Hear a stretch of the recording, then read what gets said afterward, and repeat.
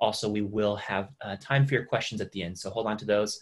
At the end, we will make sure that we answer as many as we possibly can. Thanks, Vernon. All right, let's jump right in, Lyndon. Let's jump in. Let's jump in. And um, basically, what today is about is what you see on your screen right now closing more deals in 2020. And it starts today. And how do we do this? And basically, on a, on a daily basis, I coach teams, big and small, and I see the same common issues. Here are my leads, an abundance of leads, but I'm not doing anything with them. Some of them are, are old, some of them have never been touched. Where do I begin? So today we want to share some ideas that we see work so you can really start to separate those diamonds that are in the weeds and filter the noise to really find those valuable gems. So to get started, I wanted to tell you guys all a quick story about a client of mine. And this client earlier this year was just simply overwhelmed. They had this large database of leads, thousands of leads, and nothing was really happening with any of them. And to make matters worse, this client was paying a boatload of money on lead generation. So now this list is just getting bigger and bigger, and we both knew that money was just simply going out the door. So the story ends with this client of mine having really the biggest year in sales so far. And this was accomplished by applying a manageable structure and workflow to her database that allowed her to convert new leads and really pull the diamonds out in the database. Awesome. So we want to learn more about these diamonds today and some of that structure and workflow that was applied that allowed her to convert more leads. But before we do, I've got a quick poll for you guys. And we want to hear from you. So you'll see a poll here on the screen.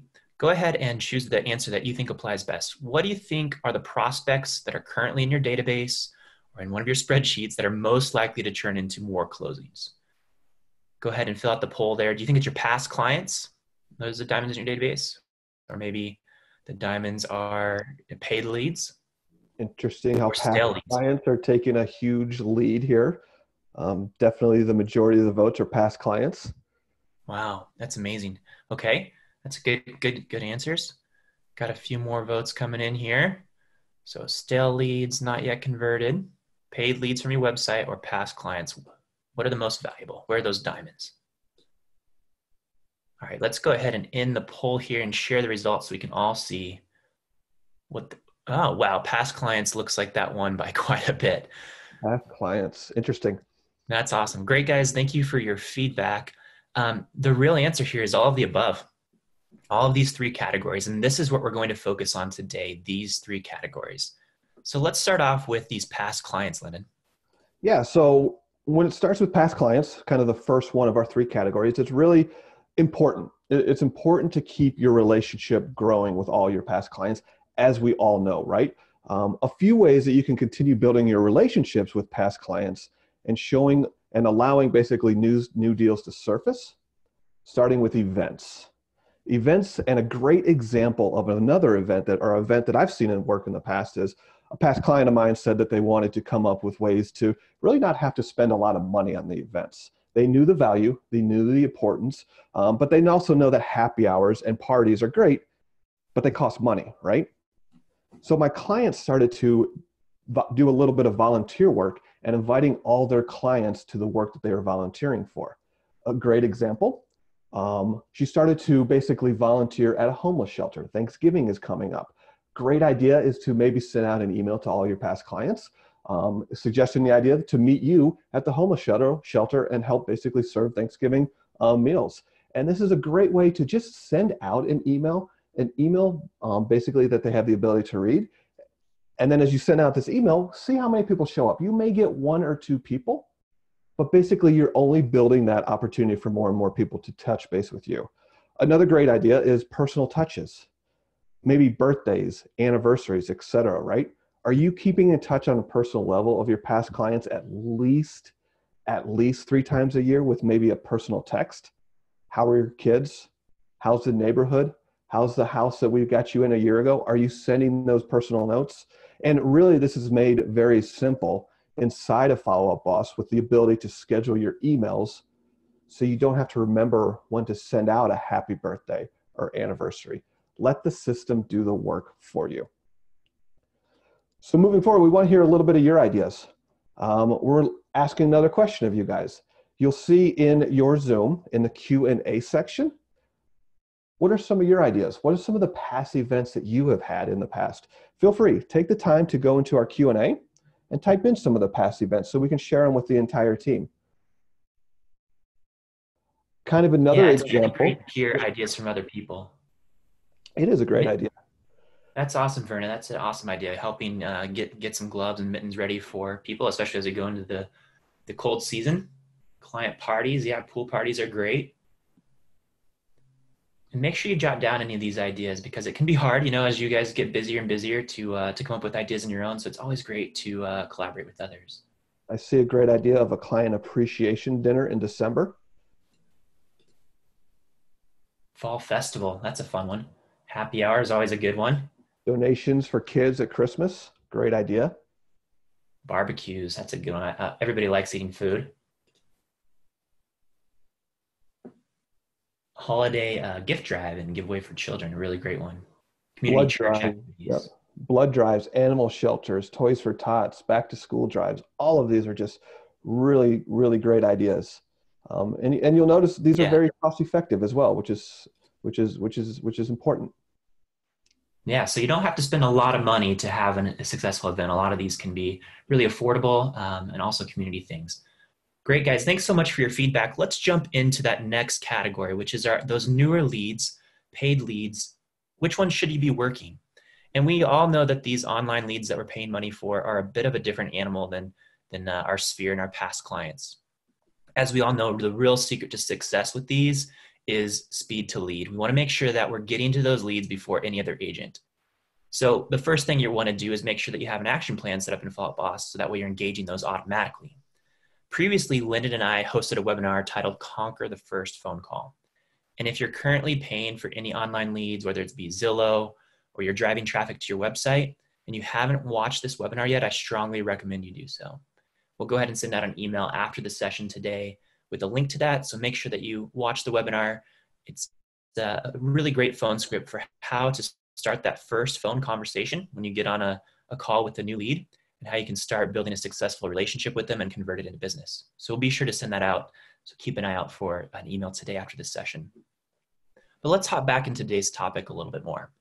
You know, these online leads that you think might not be worth working if uh, maybe they're a bit older, maybe you, you missed that opportunity on the first uh, you know week you didn't connect with them what are some things that you can do to pull those out and engage or re-engage those leads that you haven't yet converted so i'm going to hop into follow boss and show a few quick tips to help you do that and a real simple thing is we can create a list around the leads people that are still in the stage lead so we haven't converted them or updated their timeline yet and and ones that are uh, less than 30 days old. So they're still fairly new, but we haven't converted them. So I've got a list of 13 people right now in my database.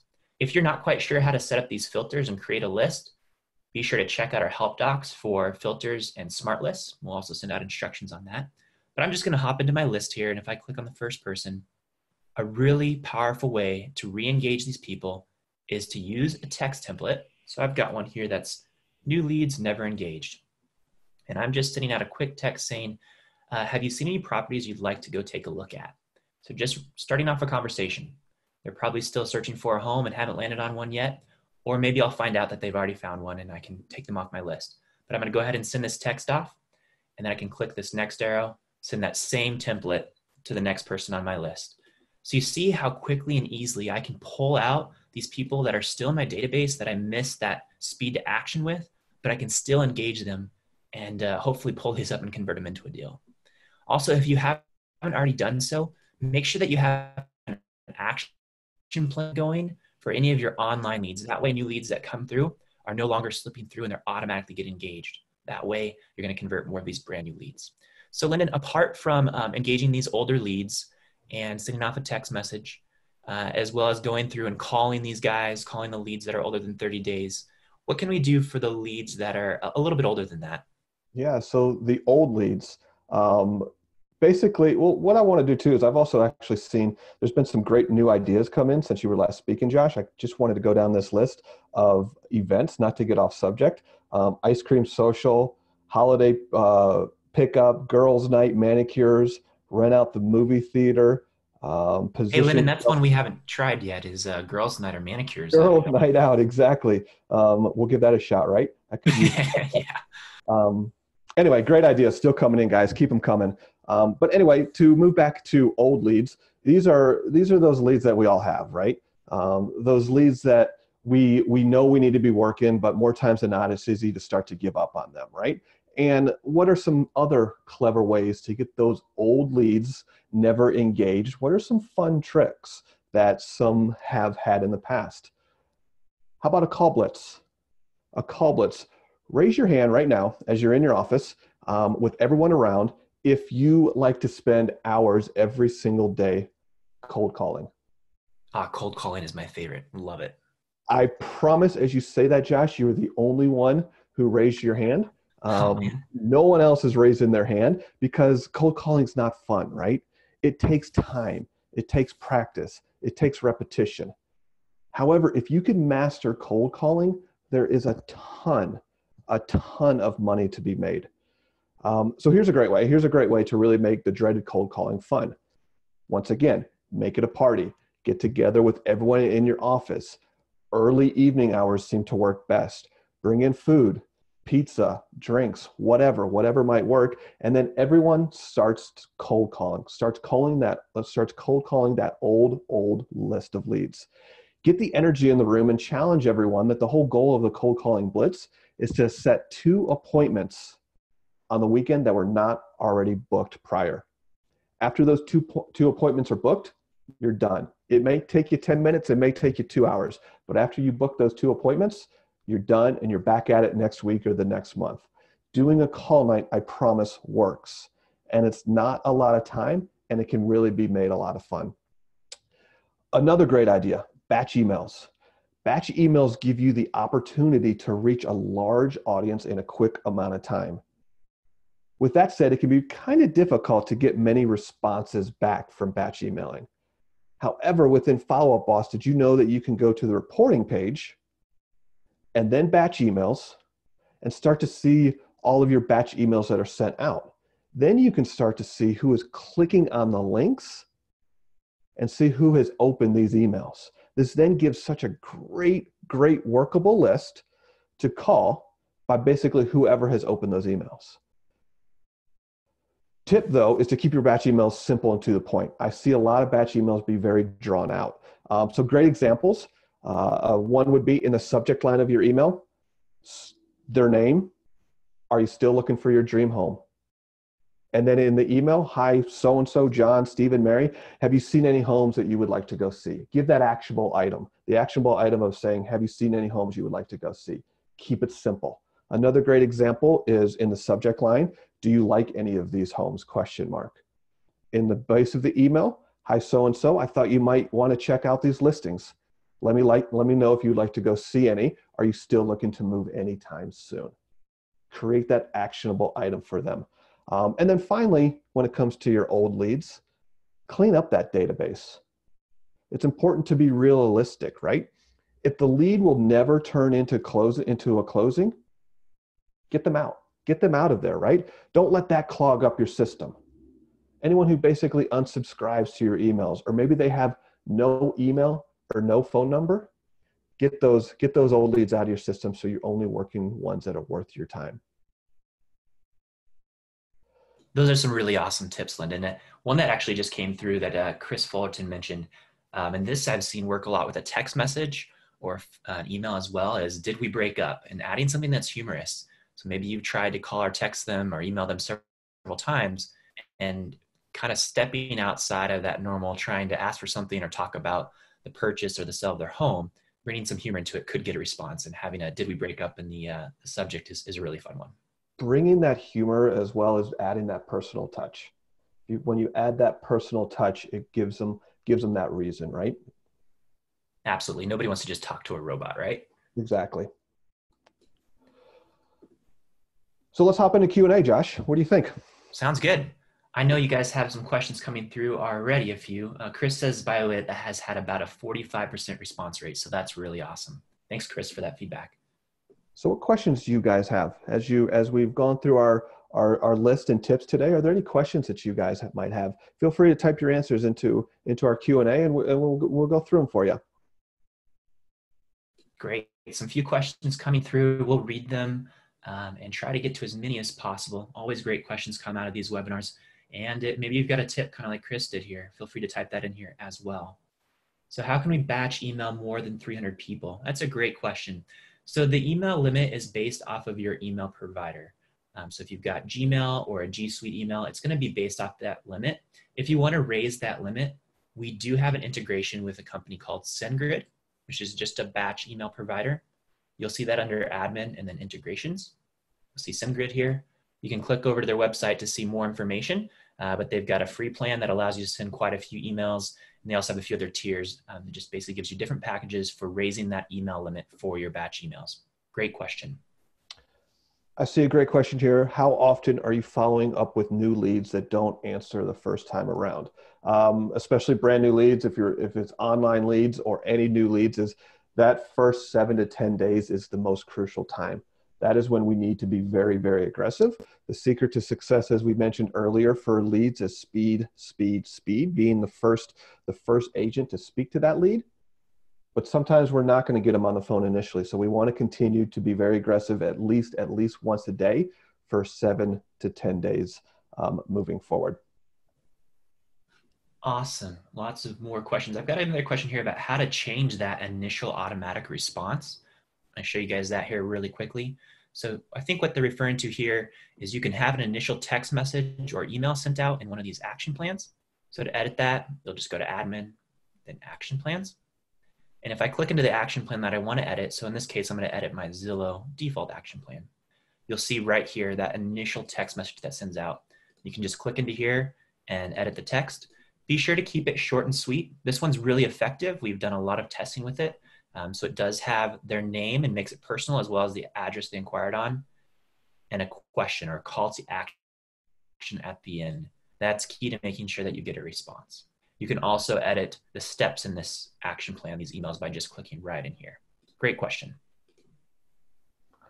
I see a great question here from Lewis. If you have a database of 3,000 plus contacts, what do you recommend for cleaning up the database? Um, really making this a workable list. Really start by creating a list that lasts 30 days. Give yourself something to work off of that's more of your calling list, if you will, your last 30 days. And then we start building lists on um, that we can start to batch emailing for that entire, entire database.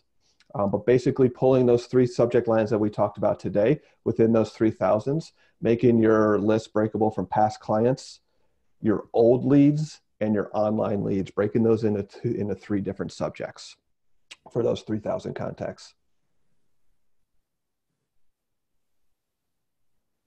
Awesome. Lots more questions coming through here, guys. Really good stuff.